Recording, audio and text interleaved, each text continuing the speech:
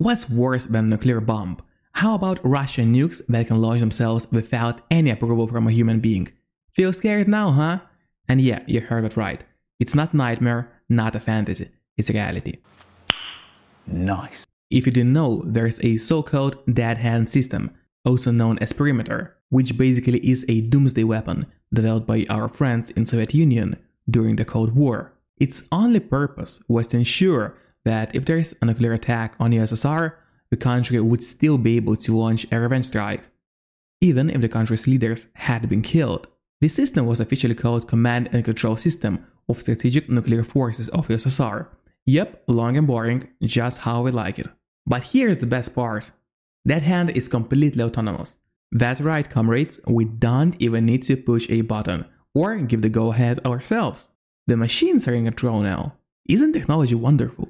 In 1970, possibility of a war between the United States and USSR seemed almost real. So the Soviet government was too afraid of a surprise American nuclear strike. Therefore, they decided it would be a great idea to create a system that would guarantee an inevitable revenge strike against aggressor, even after a nuclear impact on territory of USSR. Here's how it worked. Before the perimeter actually launches the revenge strike, its algorithm checks for presence of several conditions. Well, at least thanks for that, I guess. Firstly, if a nuclear attack has occurred, and by the way, it would even adjust the scale of its revenge strike, depending on the size and location of the primary nuclear attack. And once again, it's completely autonomous.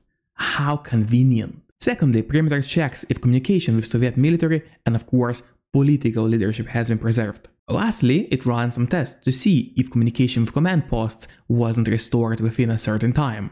If all tests fail, then kaboom. Well, actually, not yet. In this case, there will be a launch of command missile. This missile doesn't have any nuclear charge. Actually, it has no warhead at all. Instead, it will fly above the Soviet Union territory and transmit radio signals to each and every remaining command and control point, as well as to the launchers of intercontinental ballistic missiles. Now, those big boys do carry nuclear warheads. What happens next? Stalker in real life, I guess. And don't you worry about the system malfunctioning or launching a strike in error because it was designed with multiple safeguards and failsafes, since the system would require confirmation from multiple sensors, because we all know how trustworthy Russian technology is.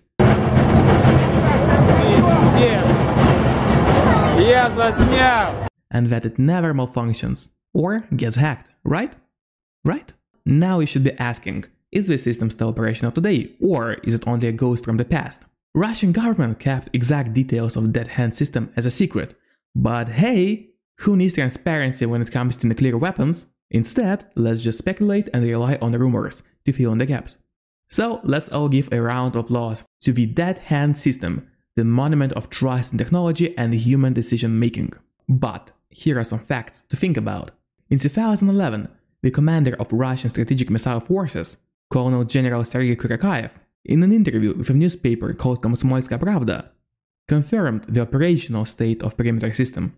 But then, in 2018, Colonel General Viktor Yesin, the former chief of Russia's main staff of the strategic missile forces, stated that the perimeter system might become ineffective in the wake of, of course, the United States withdrawal from the Intermediate Range Nuclear Forces Treaty.